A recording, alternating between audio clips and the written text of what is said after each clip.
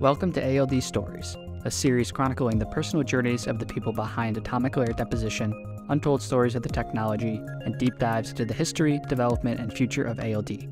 I'm your host, Tyler Myers, bringing you this podcast from Beneq, the home of ALD. For episode 22, ALD Stories is glad to welcome back the rock and roll ALD guy himself, Sean Barry from Carleton University in Ottawa, Canada. Sean is a full professor in the Department of Chemistry at Carleton, where his synthetic chemistry background has curated a group specializing in the development of precursors and processes for atomic layer deposition. Sean initially found himself in ALD as a postdoc in Roy Gordon's group at Harvard before beginning at Carleton and has claimed some notoriety as the first group to successfully deposit gold using an ALD process. Sean is also the author of Chemistry of Atomic Layer Deposition, a book outlining the core concepts needed for understanding ALD from a chemistry perspective. In this episode, Sean and I discuss his time living and working in Helsinki, why fundamental chemistry is an important and often overlooked concept in understanding ALD, why he decided to write a book, and the different approaches to developing ALD precursors and processes. Sean is an absolute pleasure to talk to, so I'm sure that everybody listening will enjoy hearing his points of view. So please grab your tea or coffee and enjoy Carleton University's Sean Barry. cold times in Canada now too, just as in Helsinki. Yeah, I think uh, I lived there for a year, eh? Yeah, yeah. right. Yeah, so I found that um, southern Finland and where I live in Ontario have very similar similar climates, very similar trees, very similar landscape, lots of shield poking through.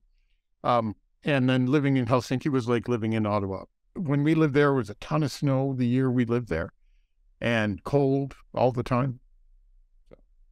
That's quite nice. Actually, uh, you know, by the way, I should have mentioned this as soon as it got in, but the, it is recording right now. Yeah, I I heard it say. Okay, great. Yeah, I mean, it's they tell me, or the internet tells me, always be recording is the first rule of, of podcasting, apparently. But but yeah, I mean, uh, you know, we can do a traditional in, introduction here, but you know, since we're talking about it, I know you yeah spent a lot of time in Helsinki, and um, yeah, lived here for a year, worked with a lot of people in Helsinki as well. So just out of my own curiosity and for for the fans, like maybe you can tell us a little bit about your your time and experience working with some of the ALD people here.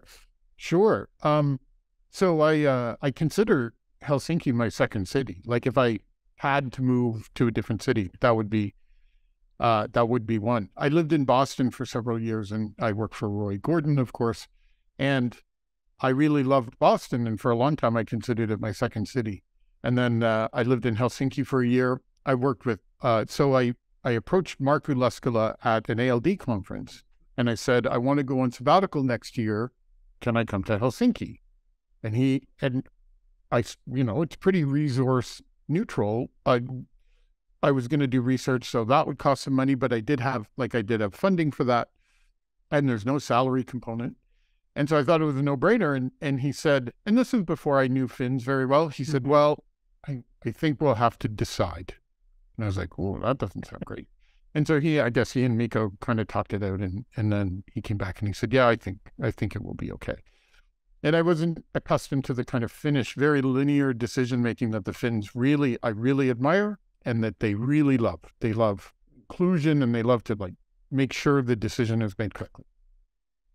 And then I moved there, and um, my wife is like, yeah, once you, even when you visit Finland, you get this Finnish way about you where you don't say anything, you stop talking, you wait for everybody else to finish. And if they don't finish, you just think, well, they obviously don't want to hear what I have to say because they won't stop talking, which is, I, I just got there and I was like, oh, I love it here. Um, and my favorite story is like I was there for a week and I was working with Team Timo Hatanpää, and I'm gonna that name I didn't say his last name correctly, but he's their synthetic guy, their main synthetic. Yeah, we'll forgive it. yeah, and it's a tough. He's got one of the tougher Finnish names, and uh, he didn't fully trust me, which because I'd been there a week, and uh, I was working in the synthetic lab with him, and he was very accommodating. Here's this and here's that, and I needed a Kugelrohr apparatus, which is a a kind of like low volatility sublimation apparatus, lots of surface area and a big glass, glass tube in the middle that collects all the material. And I immediately broke the glass piece. It's like setting it up, and I just snapped the valve off of it because, right? Of course I did. And I went to, to Mikko and I'm like, I broke the glass part of the Kugelrohr. I I have my own funding, so I will replace this. And he's like, oh, don't worry. And I was like, oh, the first week. Um, but it got better from there, and I gained Timo's trust. And then uh, I was babysat by who was my? Oh, it was uh, Marit, and I can't remember her last name. She she got married in between then and now, so she's changed her last name. Um, and she was my babysitter on the Beneq tool. And I, I'm pretty sure after I broke the Kugelrohr, uh, Mikko went to Marit and said, "This guy's ham-handed, so please don't let him break the Beneq tool." And so then I, I did, uh, I actually developed the copper uh, ALD process on the Beneq plasma tool that they've got in the University of Helsinki. And that's then, fantastic. Yeah. So you, when you say Mikko, you're speaking of uh, Mikko Ritala, right? Yeah, yeah. Uh, yeah, there's a lot of Mikos there, but yes. Mikko Ritala. Yeah. And so he and I became pretty good friends because I lived there a year. Um, he brought my son was two and he brought him a scoot bike, like the kind without pedals, because his son had just outgrown it. And uh, yeah, and then like we hung out with him and, and his family quite a bit. And it was a very snowy winter, so we'd go tobogganing and this kind of thing. That's great. Yeah, it's good to hear. You know, you've had plenty of time to spend here in Helsinki. Like, okay, I presume that people listening know by now that you know, I'm located in Helsinki, and it's really yeah. yeah. such a wonderful place to be. And I certainly share exactly the same same sentiments of when I first moved here. I feel like I've now become a lot quieter, or you know, have learned to be a little bit quieter than you know the 26 years I had in the U.S. yeah, it it's more than quiet though. It's reflective. Mm-hmm. That's what I think it is. If you like when you and I are talking now, we're kind of talking into and over each other, and that's in Finland. That doesn't happen. If you don't give a pause, it's like you're not thinking about what somebody has said. And if you're not thinking about what they've said, why would they bother saying it? Is kind of my take on the Finnish approach.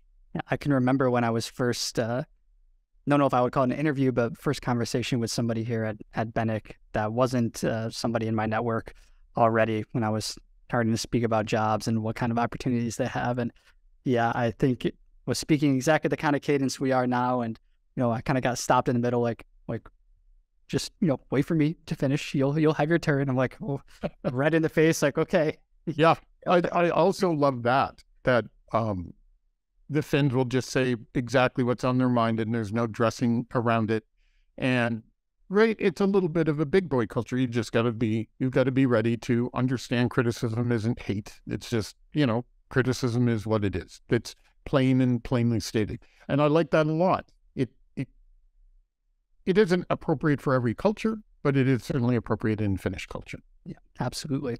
Well, great. Thank you for you know first little vignette here on being in Helsinki, and we name dropped an important people, and of course, uh, Mikko Ritala is friend of the podcast, episode yeah. ten. If people haven't watched it at this point, but uh, you, Sean, Sean Barry from Carleton University in, in, Canada. Thank you so much for being here again. Now we can do proper introduction. This is not your your first time on the podcast, you were here for episode seven, our conversation about green CVD with uh, Jonas Sundqvist and, and Henrik Pedersen and yourself. I'd be pretty excited by somebody trying to re-engineer a chamber to be to allow fractional distillation of the volatile byproducts while preserving the concentration or partial pressure of the precursor. That would be super cool. Really happy to have you here for your own individual episode. So welcome back again. Well, thank you for having me. I'm very honored to to accept this invitation. Yeah, it's it's great, and yeah, we you know also have you here because I, I have your your book here, Chemistry of Atomic oh, Deposition, which like yeah, I would like to talk about it a little bit today as well.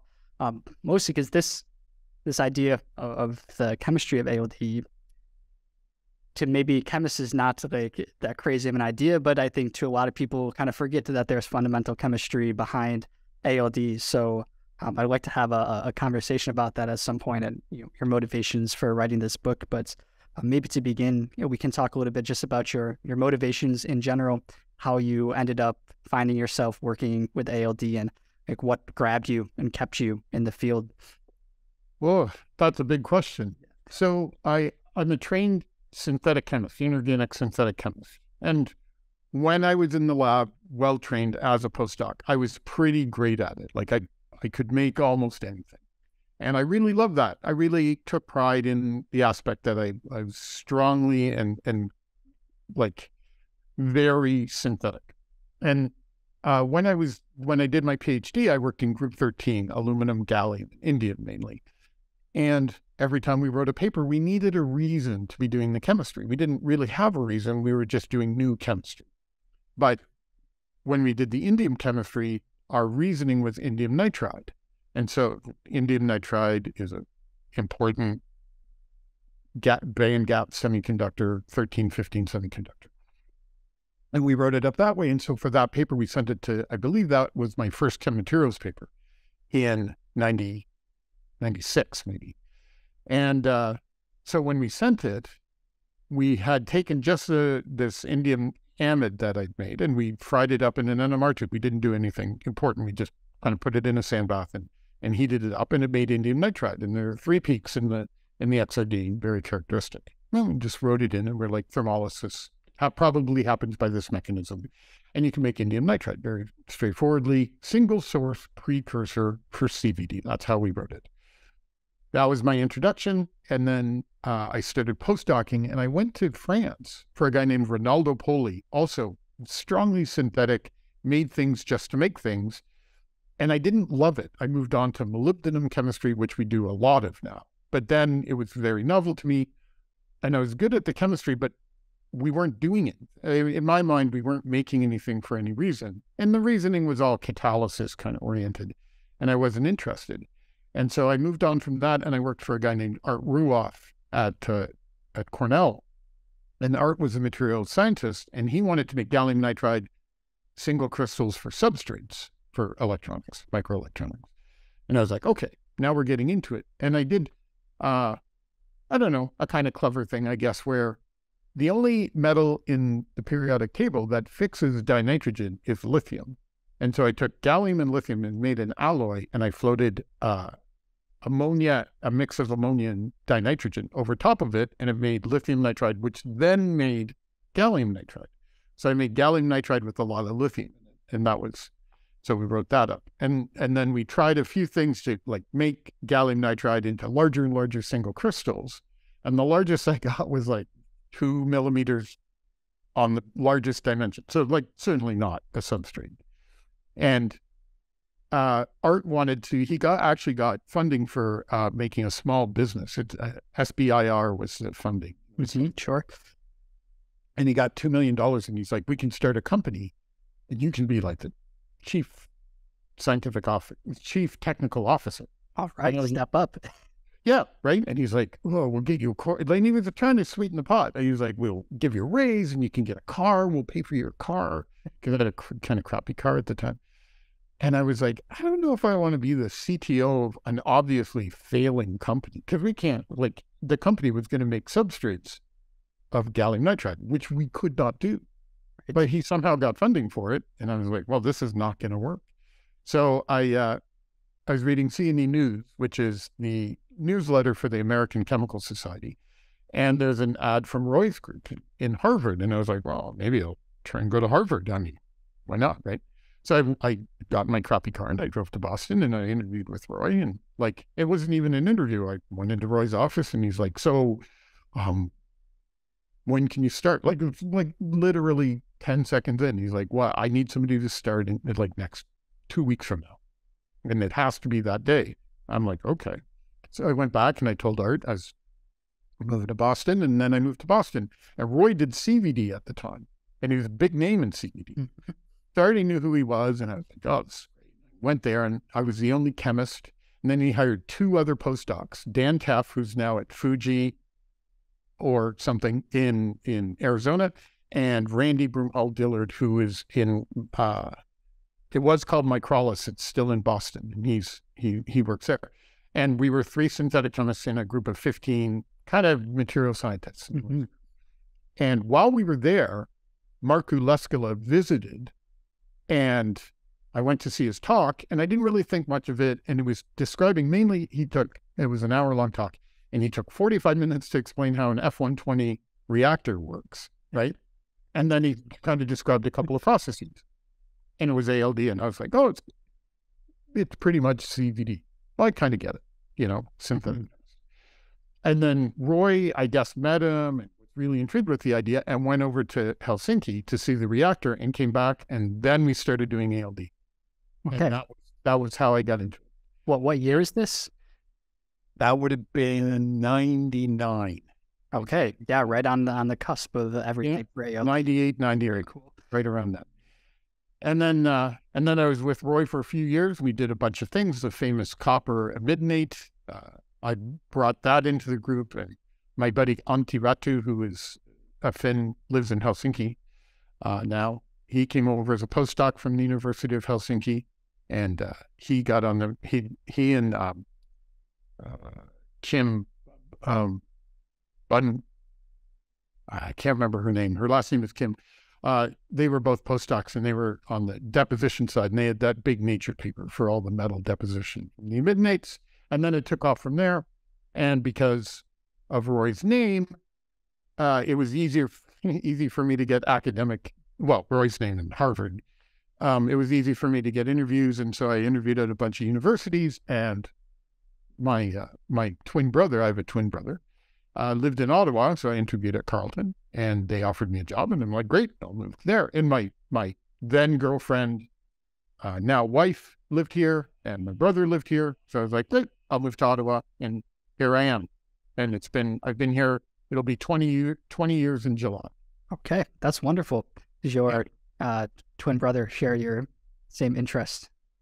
Yeah, well, actually, no. He's a computer science guy. He does data security.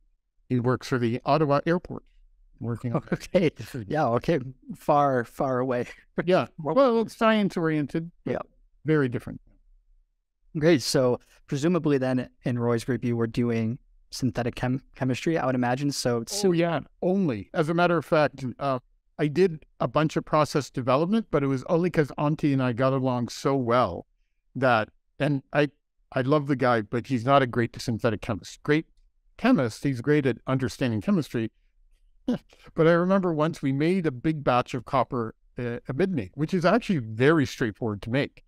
And his came out looking like there's a Finnish dessert that they eat at Easter, which is malted rye. Hey, everybody. Future Tyler here. I just want to apologize to all of the Finns for what you are about to hear after two years in Finland. This is really quite egregious. So I'm sorry. Yeah. Malmi. Pardon me? Malmi. Mal Malmi. Yeah. I I always call it muck muck because it looks like muck. What's the politest way? Yeah, I'll, I'll throw a photo up on the video here of it. Great. Um, and uh, his came out looking exactly like that. And of course, it's supposed to be clear and colorless and and, and a liquid. And his came out looking like Malmi. And so I was like, let me just clean that. And then he made like, he tried to make 15 grams, which is really the first mistake, right? So I'm like, let me clean that up for you. So I took it and distilled it out and made the, the proper, you got the pre- precursor of it. And then, uh, and so since I helped him with the synthesis, I also got involved in the deposition. So I learned a lot about tools and he had made a homemade tool that I still have a picture of. I use it in my notes for my uh, fourth year chemistry class. And um, yeah, and we did all of that early development on essentially a homemade tube furnace ALD system. That sounds like so much fun. I... It was it was great, and we uh, like he brought so much expertise and just an innate understanding of the process. And I learned everything I learned about ALD. I learned in Roy's group, but mainly from Antti Rahtu. That's great. Yeah, yeah I, I can sympathize with him because when I first entered grad school, I was doing some synthetic chemistry trying to make some some bismuth molecules for OLED applications, and I was also pretty terrible at doing synthesis. It like anything. It's like being a, a, a good cook. You you can learn it, and you can learn to be an excellent cook. But some people just walk into a kitchen and are great at it from the start. And unfortunately, Antti was not one of those. Yeah, it's actually funny you mentioned cooking because I have a lot of restaurant experience as well. And I was one summer working in the in a kitchen, kind of doing like appetizer stuff for this restaurant. But our our bread and dessert guy was gone at the time, and they asked me, "Hey Tyler, can you make a chocolate cake for us?" And I was like, "Yeah, sure, I can do that." Like, "Here's here's the recipe." I'm like, "Great, I am a chemistry major. I can follow a recipe, like no problem." So, you know, confidently putting everything together, stick it in the oven, come back an hour later and take it out. And uh, half of the cake had risen. It tasted of pure, pure cocoa. So Yep. I don't know where I went wrong, but uh, that definitely humbled me as a chemist as well. Maybe should have been my my indication that I shouldn't have been doing synthesis at uh, Yeah. any point. And, and, and practice, practice makes perfect. Wha- ev- everybody can get the skills, but you, right? The first failure determines whether you want the skills or not. Right, right. Well, I can tell you that uh, they didn't give me the opportunity to hone that. after. Yeah. but this is this is great. So, I, I need to to preface this conversation with the fact that this is a little bit of my way to help uh, some of my colleagues from grad school understand that I actually was doing chemistry in in grad school. My organic chemist friends who were all doing synthesis said that I was really just a mechanical engineer or a chemical engineer posing as a as a chemist, and I shouldn't have been in the chemistry in the chemistry program. But what you do, what you wrote, wrote in this book, is all very very fundamental chemistry. It's all synthetic uh, chemistry and takes a very detailed and, and comprehensive understanding uh, of chemistry basics, acid base chemistry, a lot of the times to understand what is what is going on here. Um, yeah, maybe maybe first let's talk about before I go to your to your book, this kind of uh kind of saga of, of gold deposition has happened, and I know that you have talked about this in many many occasions on podcasts in the, in the past and, and YouTube channels and and the like. But um, since you were the first group to do a gold ALD process, and now recently at the University of Helsinki, they have had what I think is now the fourth gold deposition process. Yeah, third or fourth, depending how you count it. yeah. So my my my But importantly, the most recent one is thermal gold, and that's a Right. huge step forward. Right. And I have to. I'm going to take this moment to grandstand. I think it's an. I think it's an excellent process, and Chem Materials uh, desk rejected it. The editor rejected it. Not. It didn't get rejected in in review. It would have gone through review, and everybody would have loved it. And Chem Materials missed an opportunity because an important step forward, and it's a really great process. It takes Chuck Winter's um, reducing agent and modifies it to work with gold and then uses gold chloride, which is very touchy stuff to work with. It's a really excellent process. And it I'm I'm happy. I, I would have loved to have discovered a thermal process for gold, but I'm very happy that they discovered this. And it it didn't get it got the recognition it deserved, but it it didn't end up in Materials, the kind of ALD journal record. right right as it, as it probably should have. And yeah, I mean as as somebody who you know, worked on this process, and I know at the time this was 20, 2015, 2016, uh, Um, it was something to be super proud of. First time depositing gold in, a, in an ALD type process. But now, as it's kind of evolved with a, with a few different processes, I'd like to hear your thoughts on you know, how understanding just you know, chemistry is how we kind of got to these got to these places. That it's not just a a trivial thing to make an ALD process like this happen. Yeah. Yeah, I think gold's a good example because so we're working a lot on molybdenum, for instance. And molybdenum wants to stay out of the molecule. And you've got to kind of you've got to move it into the metal. And that's you've got to get the right reduction conditions for that to occur, let's suppose. Gold is the exact opposite. Gold loves to reduce itself and it loves to be a metal, and gold loves nothing better than to bond to gold. That's what it wants. It wants to no other bonds except to gold. Sometimes to sulfur, but mostly to gold. That's what it wants. So the trick isn't to get the gold on the surface. The trick is to get the gold cation into the gas phase. If you can do that, you can at least do CVD because all you have to do is crank up the furnace. Mm-hmm.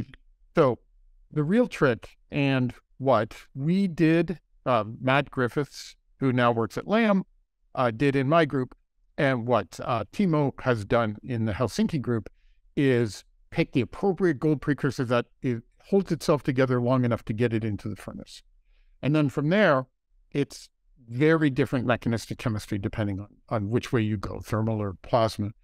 Uh, for reduction. And so we, because we did the first one, we just, you know, we just padded the gold with every ligand that it wouldn't let go of to, to make it thermally robust. And it's only thermally robust up to 130 degrees. It's not, not even that. You could put it in an oven in a kitchen and it would fall apart. So it wasn't, but we could get it into the furnace, and then we had we'd done such a good job making bonds to the gold that we had to hit it with plasma to get the bonds to break. We did it with oxygen plasma, and um, then we had to use water to get the phosphorus out because there's a phosphine mm-hmm. in that. Um, but when we ported it over to Ghent, they were doing the mechanistic study with us. Um, they have a HIVAC system. We've got a flow system. We did it on a on a PicoSun tool and they did it on a homemade tool. And their HIVAC system, they could knock all the ligands off, but they couldn't get the phosphorus in, and the water just wasn't living long enough at the surface to do the to react with the phosphorus. And we said, just do a super long, highly, highly concentrated water pulse. And they were like, absolutely not. That will destroy the tool but they have gas handling that we don't have. So they could go to a higher hydrogen concentration. So they actually got reduction with dihydrogen, actually hydrogen radical from plasma, which we tried and, and couldn't do because we can't go over 7% here for safety reasons. And they can go up to pure hydrogen. Okay. And, which is, I think, a great, anybody doing ELD. it's a great demonstration that um, processes are tool dependent. And mm-hmm. your, your tool really determines how well a process will work. And porting it into a different tool is as much work as establishing the process initially. Yeah, I, can say from like industry perspective too here, and we have people sometimes messaging us like, "Hey, we need a recipe for this TFS 200, for instance," and mm-hmm. yeah, we have to tell them like, well, you know, we can give you a, a standardized one, but you're going to have to play around with it. It's not yes. just a one to one translate to you. Yeah, and we've we've now we've worked it up on our uh, we worked it up on our homemade tool on our PicoSun tool on the HIVAC system at Ghent, which is a homemade tool, and on Ruud van Ommen's um, uh, flow system, uh, what's it called, fluidized bed system. And there we had to go to ozone because you can't get radicals through a flu- fluidized bed unless you thin it out really well. And right, I'm doing no favors here by explaining this because it's uh, it's engineering of the highest order, but you just can't get radical through a fluidized bed because there's so much, there's so many mass bodies that they combine too way too quickly. And so we had to go to ozone in that case. So we've like our gold process kind of went in three different directions. And then the Helsinki had initially had the thiolate precursor, and now they've got the chloride with this germanium uh, reducing agent. Yeah, it's it's amazing to see how it has has progressed from just, you know, we you know are gonna not not not essentially not optimizing, but we're just gonna get the process done in any way that we can to to moving to the most maybe um, like ALD like or the most tangible ALD type process that that people might understand. Well, I, and I think it's more than that. I think um, if I might speak to Mikko's thought process here, um, the more fundamental you make it, the more thermal you make it at low temperature and robust and stable, the more people that can work on it. The more people that can work on it. So the precursor and the reducing agent have to be readily available or easy to make. The process has to be simple to do on any tool. And the more people that work on it, uh, from the materials side, the more applications will come out of it. Everybody can imagine what gold applications are, but people aren't realizing them in, in actuality because the precursors aren't fully available.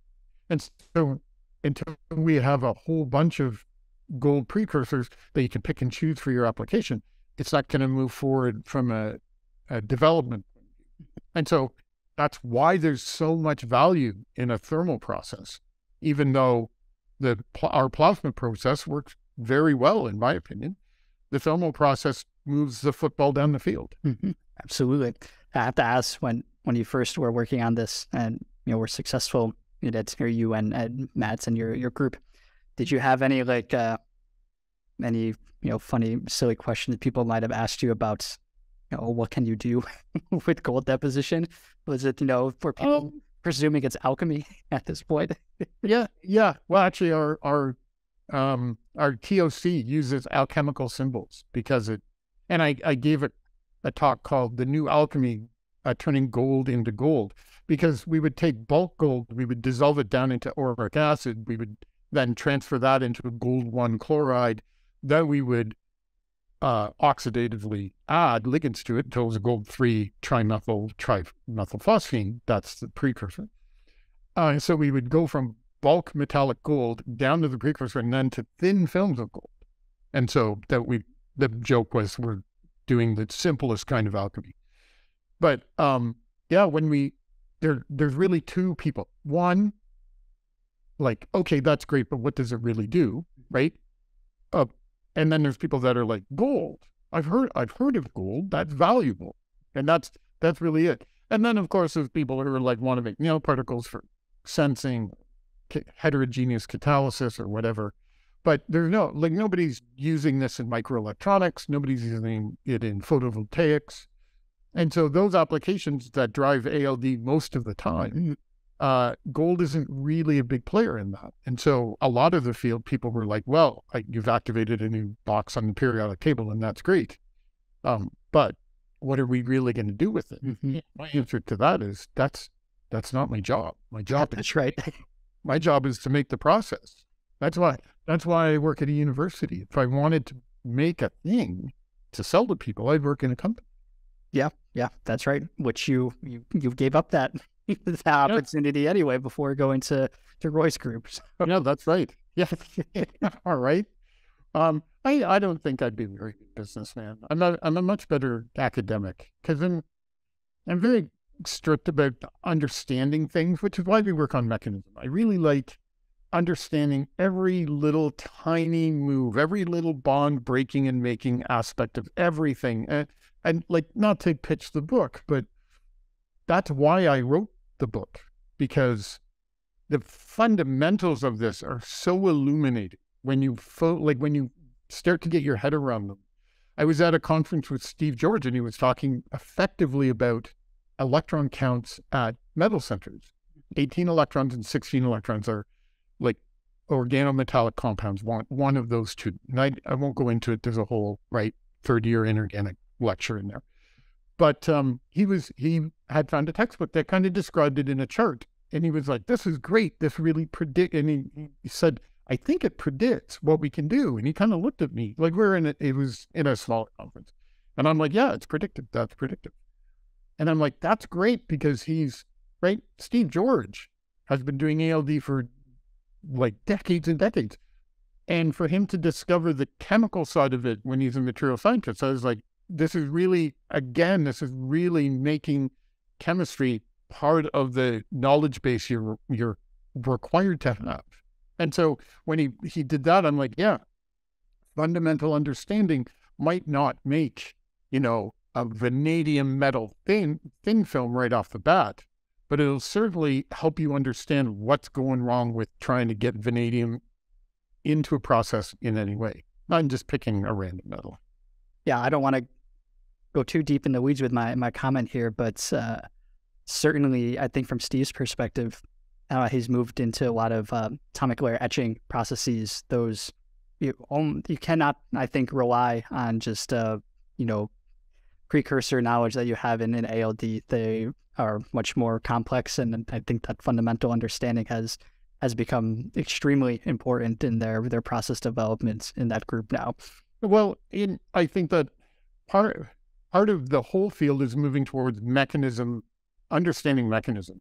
And that's great for my group because that's what we already did. And it's got like, it's suddenly become more important than it was maybe 15 15 years ago, we were like picking apart why amidinates and guanidinates fall apart in the gas phase and eh, whether that's bad or good. And people were like, oh, cool. But really we just want copper. We just want copper for interconnects. We want hafnium oxide for, for gate dielectrics. Just please do those. Mm-hmm. And now, now that etch, etch is like too confusing to understand without the chemistry. Mm-hmm. And I, I have to say, Steve George has, his group has worked on mechanistic chemistry for 20 years since I've been at it. They've been picking away at mechanism.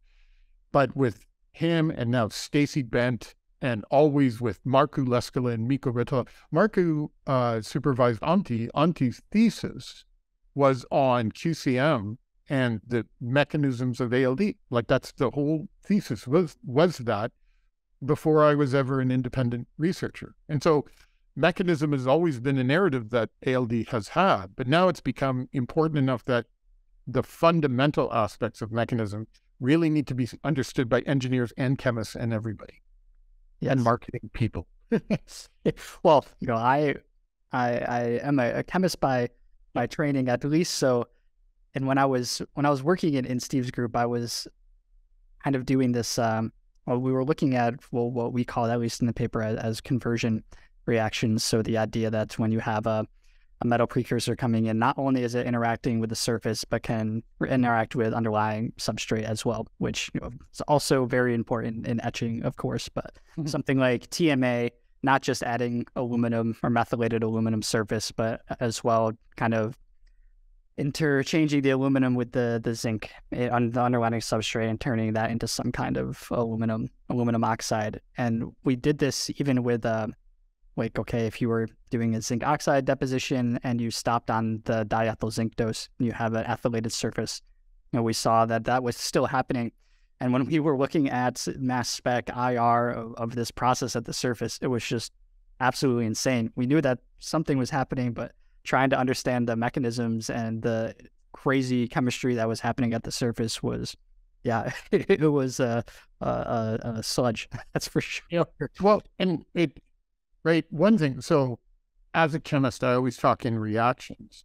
And there's a guy on Twitter that I follow, and he's kind of a, a crazy guy named Lee Cronin.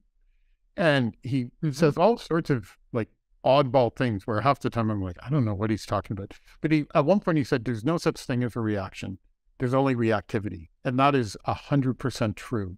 And we we try and steer everything down one road, one reaction pathway. But right, diethyl zinc hits the surface and it'll try and do a million things. It's got no predetermination except for thermodynamics. And so it can do a million things. It can do like one minor thing and one major thing, or it can do everything in an equal in equal measures.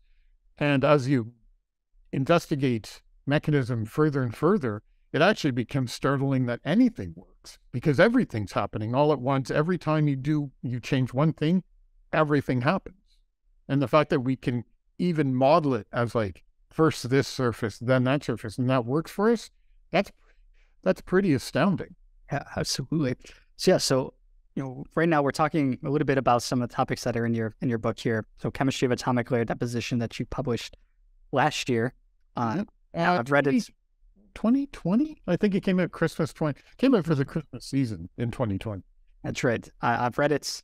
I've read it cover to cover now. I think it's an, an excellent resource and yeah, as I, have said a, a, couple of times here, that we don't sometimes don't think about ALD when it comes to the actual chemistry of it happening. And even when I think back to my initial exposure to ALD um, with with Steve, we didn't talk about you know electron counting very much. We didn't talk about acid base chemistry. And the fact that you can kind of understand a little bit of how ALD proceeds without understanding the chemistry is really amazing in, in one respect and, and tough in tough in the other. But yeah, as you say, when you start to really dig into the the fundamentals, it opens up an an, an entire new world. And uh, you go through a lot of the types of ALD processes in here, how they relate to the you know, basic inorganic chemistry reactions as, as, well, or the metal metal organic. get that get that wrong, um, as well as the surface chemistry and everything. Um, is there any part of the book you feel you know is really the the the bread and butter, like the the most important to unlocking the key to deposition processes or ALD in general? Oh, I don't think so. I don't think the book is meant to unlock process chemistry. I don't. I think if anything, uh, I think if you're a chemist and you read the book, the idea is that it will tune up your physical chemistry. And you, you said, oh, I was a mechanical engineer disguised as a chemist. I don't think that's true. I think that they're like, you can come in as a physical chemist or a, a uh, synthetic chemist. Those are the two flavors of chemistry you can be. And physical chemistry really is the more plumbing and electrical parts of of chemistry. And so you might you might not get like how to make things, but you certainly get what molecules are, what, like where they're going to go in the world. And so um, I think what I'm trying to do is I'm with the book. So interesting story. The real re- uh, I wrote the book for two real reasons. One, because I think the fundamentals of chemistry are super important to everything any chemist does, including ALD. And I wanted to write something relatively short that got the point across. Two, a friend of mine became uh, an editor. I don't know. I don't know exactly her title. It's like an intake editor. She mm-hmm. started at De Gruyter's, and she, her job was to find people who would write books. And she wrote, and she said, "Would you write an ALD textbook on chemistry? Because there isn't one." And I said, "No." And she said, "I just started here, and I want to like." get six books in my first year, whatever her target was. She said, I want, I want to like really overachieve in my first year. And I was like, no. And then she's, so then she let it rest for a bit. She came back and she's like, come on, this, I think this would really go well. Here's, I've seen what, like th- this lecture, you could really just kind of incorporate that could be a chapter. And so Christine Smith is her name. She lives in Germany now. And um, I was like, okay, finally I said, okay, sure, I'll do this. And then she's like, great, I'll hand you off to another editor. And I was like, what? what? I, right? So I was doing it kind of to help her a little bit. And because it was the pandemic and nope, there's nothing going on in the group. So I was sitting in my office all day with nothing to do. So I thought, okay, I'll do this. And then I thought, oh, I'll just eh, like chat with Christine once a week and it'll be fun. And then I got handed off to another great editor. But um, yeah, and that's that's the other reason I wrote the book, just because a friend of mine asked me to do it. That's uh that that's amazing. You know, what a what a good friend you are. Yeah. Well, and if we didn't have a pandemic, I probably would have kept saying no, right? Because it takes a lot of time and a lot of like thinking about what, how this narrative, like even a textbook has a narrative to it, how this narrative evolves from chapter to chapter. And it's so every chapter I acknowledge somebody. Hmm. And at one point, I acknowledge uh, the third year undergraduate cohort, whenever, what, whoever that is, whatever year it is, because I've had to make these ideas all work together because I teach. And that is, that's scholarship. Teaching is scholarship. You learn so much by teaching. And that helped me kind of put the book together in what I think is, or from my point of view, what's a logical flow. And so that's, so it, it's really not meant to help you understand how to make a process. It's meant to make it to give you enough information to make you realize that making a process is a very, very difficult thing to do.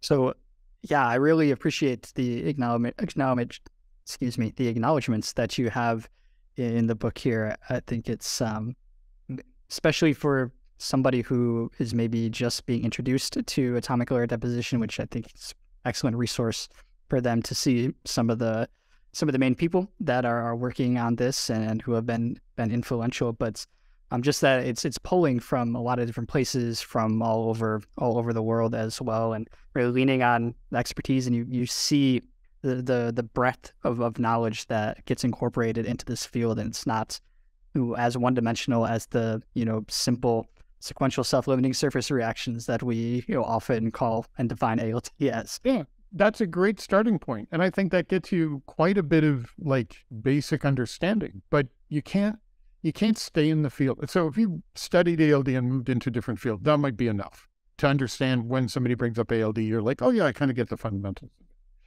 But you can't stay in the field and have that kind of like lower level theoretical under or, or fundamental understanding of what's going on.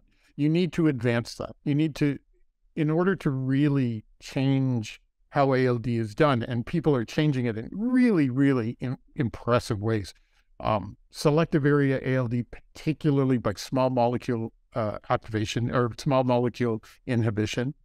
Uh, Adrie Mackus, it, that like that's a superb innovation. It's all about surface energy, and if you don't understand surface energy, you're not really going to understand how that works.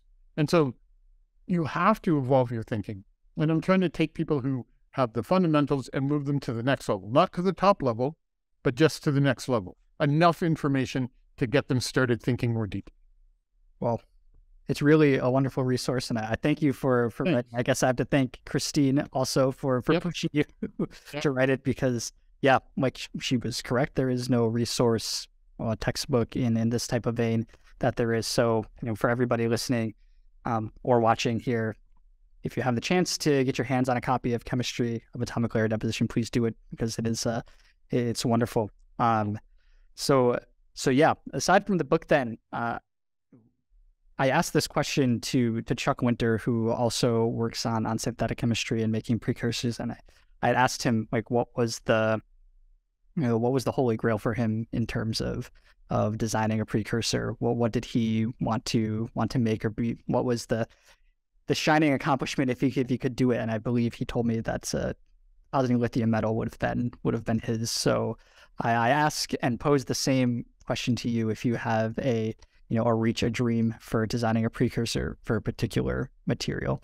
Ooh, that's interesting.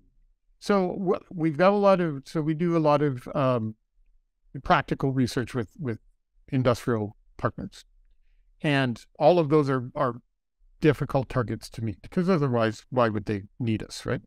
So, but outside of that, I think, again, I'm going to go fundamental. And I, I have to say, uh, I like Chuck. I like having Chuck in the field of ALD because he and I approach uh, synthetic chemistry, or not synthetic chemistry, precursor chemistry very differently. And uh, it's great to have somebody that isn't, that doesn't reflect your own ideas back at you, but actually contrasts and, and compares ideas to you. Chuck's, I would consider Chuck much more a thermodynamicist, and I'm much more a kineticist. Mm-hmm. You want things to be stable, and I want things to be okay enough to get into the reactor. and it's it's a little our personalities. He's he like he likes things to work, and I like things to you know just barely work. That when things just barely work, I feel like I've dialed the knob just enough to get it to work, and that's that's impressive to me. So along those lines, I don't want to pick a metal or it, well, I so I it'll be a metal it'll be a metal process for sure. But I don't want to pick a metal. I want to pick a class of metals, and and Chuck Winter has done this, and so has the Helsinki group. Electropositive metals, uh, titanium, particularly titanium. I think Chuck did that. Magnesium, any of the alkali or alkali earth metals, as a stable thin film. Um, zinc, metal, mm-hmm. alloys of iron and anything electropositive, those are tough, tough problems. And it's because electropositive metals, gold want to react with gold. Electropositive metals want to react with anything with electrons, which is everything in the world. And so that class of metallic film is so difficult to do. And you can't even really cap it. I remember Chuck, I think when he I, am trying to remember. I think it was titanium, and he had a tough time proving that he had made titanium metal because he had to cap it with aluminum oxide, or you just brought it in and caught on fire. And so, right, the interface was thickly titanium oxide because mm-hmm. of oxygen and aluminum oxide, and the titanium was gettering it. Right. And of course it was. That's the chemist. That's what electropositive metals do. And so he, he gave a presentation at one of the ALD conferences, and he, he really spent like eight slides proving that if you thought about it this way, it was really titanium metal, and then he had had to do this other chemistry to make it work out. So electropositive metals, uh, writ large, like a lithium, a thin film of lithium metal, first of all, would be great for batteries.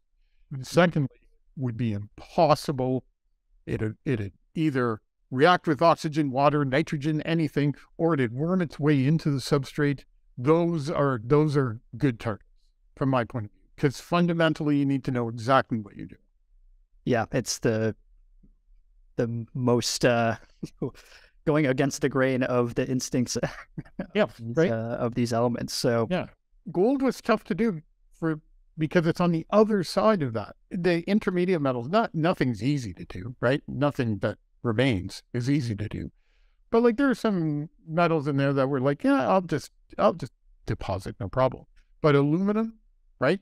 You, you can't really do it. Indium you can't do, even though it's less electropositive, but that's because it wants to melt. So that's that's a problem. Low temperature indium, low temperature gallium processes, you can can't get those done. But like something like lithium, like 10 nanometers of lithium on whatever substrate that it won't like dissolve into, effectively dissolve into. Um, and then cap it with something that doesn't also react with it. So you know you've got the lithium thin film. That'd be cool. That'd be a cool process. Could be really tailor made for for ALD. Just yeah. thinking of you know the fact that ALD is amazing moisture barrier, might as well throw that cap on top of it while you're in the same chamber. well, yeah, lithium. lithium would be a hardcore moisture cap, right?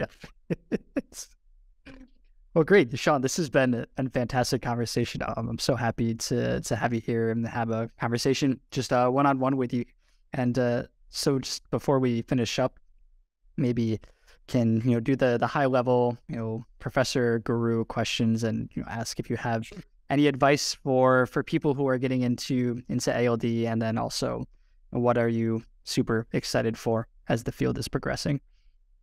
Well, so coming into the field, I would say uh, get to know people and don't be afraid to approach them. As a matter of fact, if you're watching this, I invite you to come have a beer with me at whatever conference you meet me at. Come up, say hi, shake hands, right? The reason that um, I got to go to Helsinki was because Markku Leskelä went out of his way to say hi to me in an airport because he recognized me. And I thought, what a good guy. Hang on, maybe I'll just go to Helsinki. Why? It, obviously the key group in ALD, but I thought I could I could work with that guy. He seems nice and friendly, and I might not have thought that if he was less approachable. And I know that, right? The older you are, um, I'm well above thirty. Um, the older you are, maybe the less approachable you seem. I kind of don't have a demeanor that suggests that you should come talk to me. but it's I'm I'm happy to talk to people. I, I like talking to people, particularly new people in the field, to learn new things and see why they're there. So the advice would be, right? Try and try and buck up and and and talk to the high level people. They're all accessible, interesting, fun people to hang around with. They're all good people. Um, what's got me excited? What's got me excited about ALD? I think I think etch is the most exciting thing happening. I think selective area etch, when we get there, will just like then the toolbox is so expansive that we'll be able to go.